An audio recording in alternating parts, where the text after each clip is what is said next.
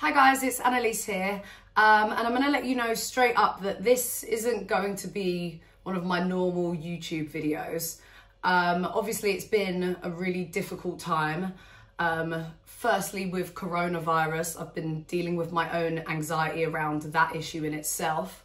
But then, with the recent events of the last few weeks, in terms of George Floyd's death, murder, I should call it, followed by the Black Lives Matter protests, riots, which is really taking on a whole new life. It's really got me thinking, and it's been quite difficult to work out really what to do. I think we've all been in that position, especially on social media. Blackout Tuesday. So I actually think this was a really positive thing.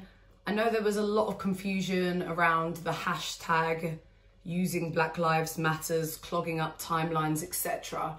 But I think the overall united front that it showed was, was really good. I think the concerning part though is that it can't just be about one day. Black Lives Matter is not just one day. So the discussion and the conversations and everything needs to continue for the last few days, like most of my posts, all of my posts, have had to be reflective about the time and situation that we're in.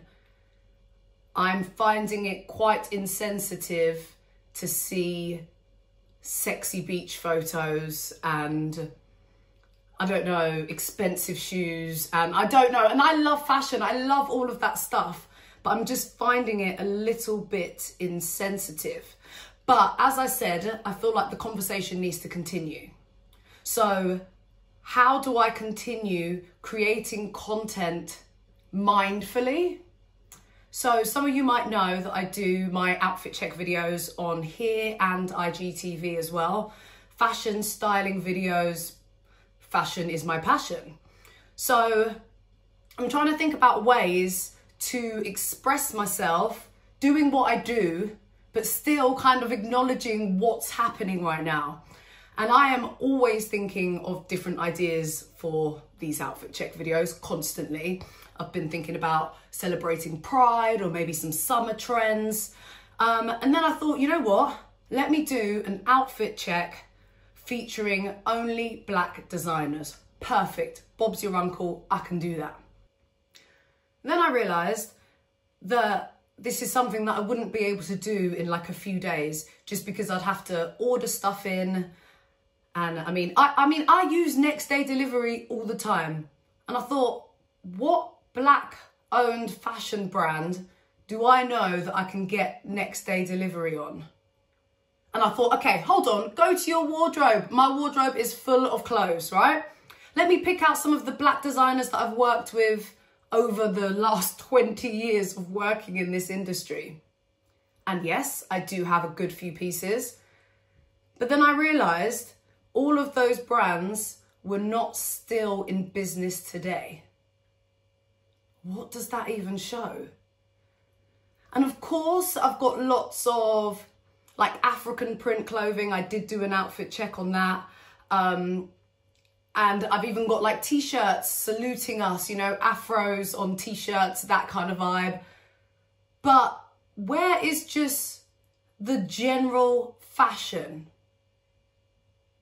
Where is it? It feels like black owned fashion brands basically come from celebrities. You have to be a celebrity in order to be accessible, I guess.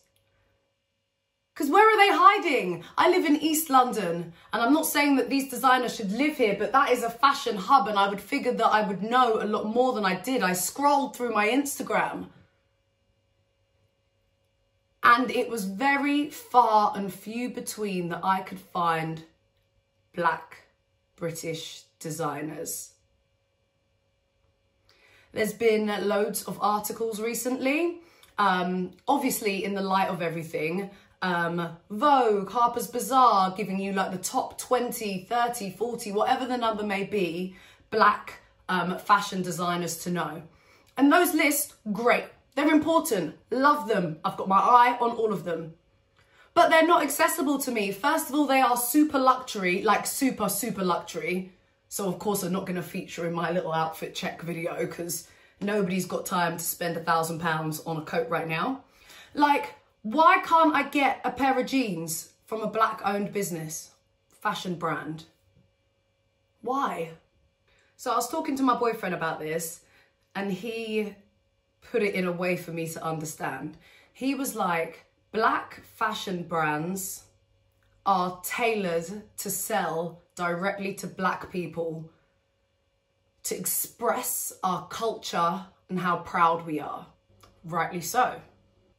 We do not have black fashion brands that are aimed at selling to the masses.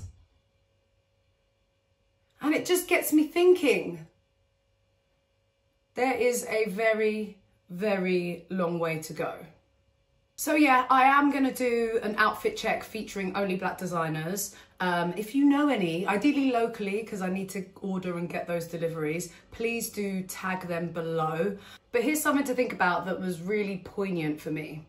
I was able to pull together five Pride looks in like two days. That was either from my wardrobe, um, from ordering next day delivery, ASOS, Kurt Geiger, Levi's, etc.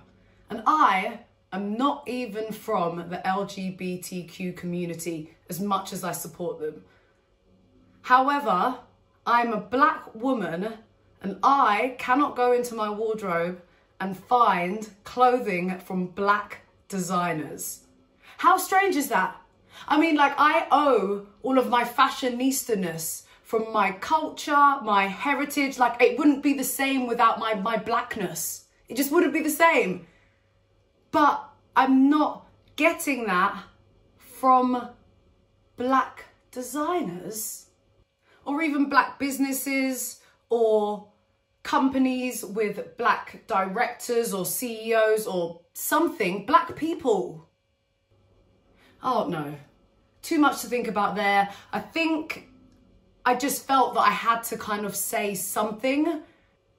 So yeah, support black businesses, black content creators, black designers.